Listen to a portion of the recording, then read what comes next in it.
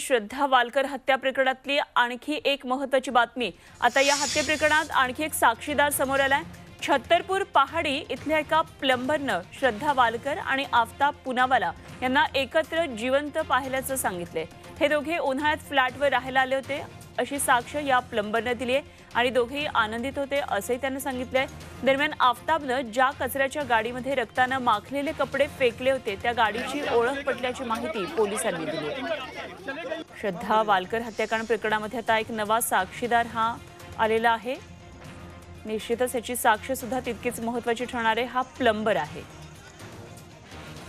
छत्रपतींचा विचार म्हणजे